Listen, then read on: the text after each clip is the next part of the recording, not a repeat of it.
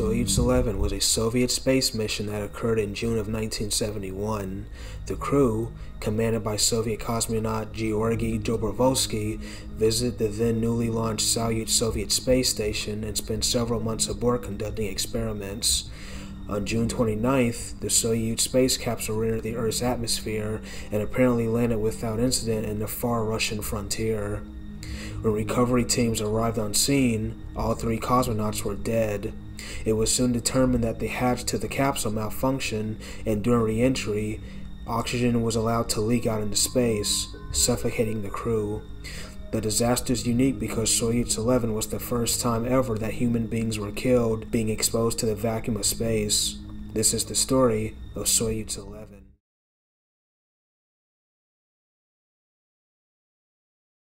Following the conclusion of the American space race, following Americans landing on the moon in 1969, the Soviet Union, now Russia, turned its attention to building space stations in Earth orbit. This included the first ever space station named Salyut 1. Launched on April 19, 1971, Salyut 1 measured 43 feet in length and weighed over 40,000 pounds. The station had a maximum volume of 3,500 square feet. The Salyut station carried a crew of three. On board, cosmonauts performed scientific experiments and monitored their health. Another part of the cosmonauts' mission was regular television broadcasts. The Soviet space program had hoped that their long-endurance space missions would be a counter to the burgeoning American Skylab space station missions happening at the same time. Salyut missions were visited by Soyuz spacecraft to add and relieve previous crews.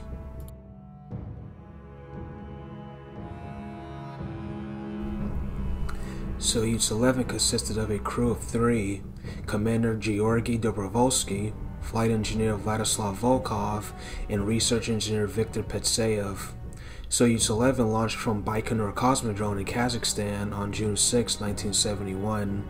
Several months earlier, another Soyuz craft, Soyuz 10, failed to dock with Salyut 1.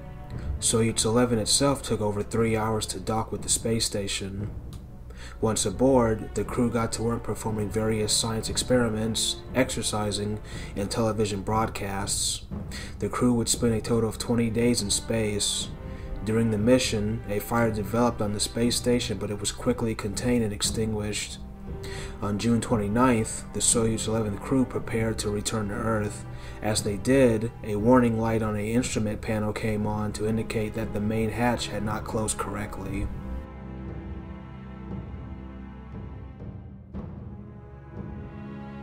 A crew member on the Salyut station then attempted to talk the crew of the Soyuz to clean the hatch seal of any foreign objects that may be blocking the hatch from closing.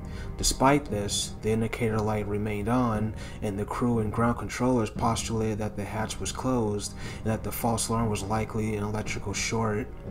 Soyuz 11 began to return to Earth. This included a retrofire burn to orient the crew capsule for re-entry. Also, the Soyuz would uncouple from the Salyut station. This included the use of pyrotechnical explosive bolts that had to fire in a sequence in order to uncouple the two spacecraft. As planned, the Soyuz capsule returned to Earth and landed in central Kazakhstan. Recovery crews then descended on the landing site to retrieve the astronauts. The recovery team expected to greet three triumphant cosmonauts, but this was not to be. When the recovery crew opened the hatch, they saw all three unconscious men still strapped in their seats. Knowing something was terribly wrong, ground crews frantically tried to revive the three men, but to no avail. Cosmonauts Dobrovolsky, Patsayev, and Volkov were all dead, and it was the second major tragedy of the Soviet space program following the death of cosmonaut Vladimir Komarov in 1967 when his Salyut 1 capsule's parachute failed to open. Investigators noticed in the autopsies of all three cosmonauts that their blood had suffered from something called asphyxia, in which the human body does not receive enough oxygen for general functions. This can cause abnormal and labored breathing. Also, the cosmonauts' blood vessels in their veins ruptured and caused massive bleeding hemorrhages, in which the three men experienced bleeding in their ears and nasal cavities. This all happened a little over 15 minutes after re entry at an altitude of 100 miles. All the crew were dead upon landing. Suspicion soon fell on the issue with the Soyuz 11's hatch seal. Per the design of the Soyuz system, a series of explosive bolts were supposed to fire in a controlled sequence in order to release the spacecraft. For some unknown reason, all the explosive bolts fired at the same time. The unintended motion caused Soyuz 11 to vibrate, causing the hatch door to become ajar. When this happened, the oxygen began to escape from the crew compartment. Patsayev was the closest located to the hatch valve to close the hatch and may have tried to close it, but this attempt failed.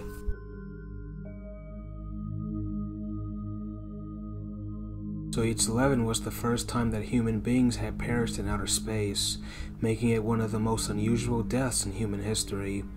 The Soyuz docking system was subsequently redesigned, and in time for the eventual 1973 joint American Soviet Apollo Soyuz program, the world's first international space cooperation. Dobrovolsky, Volkov, and Patsayev were both recognized and posthumously awarded by the Soviet government. There was a massive state funeral for all three cosmonauts, and U.S. President Richard Nixon sent his condolences. American astronaut Thomas B. Stafford traveled to Moscow to pay his respects and was a pallbearer during the funeral. Until an autopsy, it was unknown how and why the cosmonauts had died. One theory was that simply the men had died from being in space too long and simply reached and passed the maximum threshold for human beings in space. Ground controllers had lost contact with Soyuz 11 before the landing, and contingency procedures were already put in place in case of a disaster. Soyuz 11 did not have pressure suits due to the lack of room inside the capsule because of the three men inside. Had Dobrovolsky, Volkov, and Patsayev had pressure suits, they likely would have survived the ordeal. Subsequent Soyuz vehicles will later only be allowed to carry just two cosmonauts and storage space for the Sokol pressure suits, which will allow for both launch and landing. The bodies of the three men are buried in a cemetery on the Kremlin grounds, and Apollo 15 astronauts David R. Scott and James B. Irwin left a plaque on the moon with the names of the men and others who have died in the name of exploring space. A monument was also erected near the landing site also. Soyuz 11 is a tragic reminder on the dangerous undertaking of space travel.